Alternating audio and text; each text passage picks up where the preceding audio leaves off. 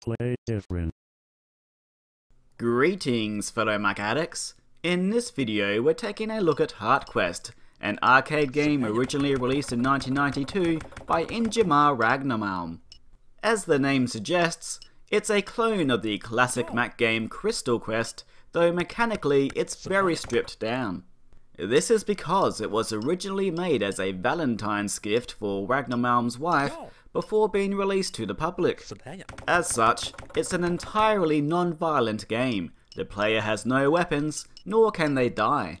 They just have to move around the screen with the mouse, which controls velocity rather than position as in Crystal Quest, and collect all the hearts, and optionally, any bonuses that happen to fly by.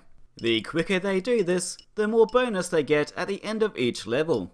The main thing the player has to worry about are rogue pieces of flypaper which will temporarily immobilize them on contact.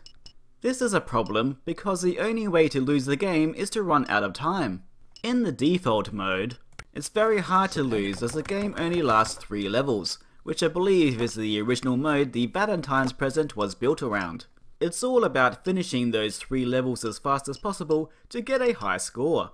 Then there is Macho mode, which increases the difficulty every level until it basically becomes impossible to grab all the hearts before the time runs out.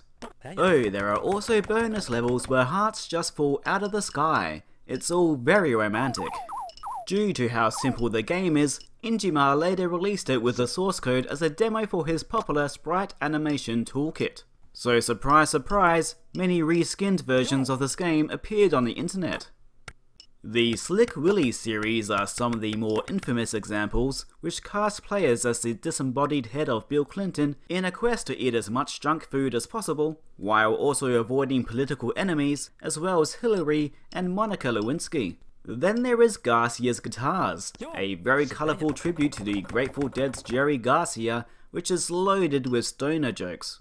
I asked Ragnemalm if he was unhappy about his innocent Valentine's Day present being reskinned in these ways, and he said no, and that he even found them funny. He also says it would make him a bit of a hypocrite, since he made a Q*bert clone called Bert, which lampooned a Swedish politician. He says that the only thing that bugged him was when people released a HeartQuest reskin and gave him zero credit. Needless to say, I won't be mentioning any of those shameful games in this video.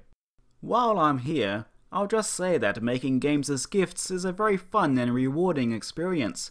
I've done it myself by making little interactive birthday cards using the authoring tool Twine. But yes, that is HeartQuest, a simple Crystal Quest clone which started as a gift for a man's wife, only to reappear many times on the internet, often in very unexpected forms.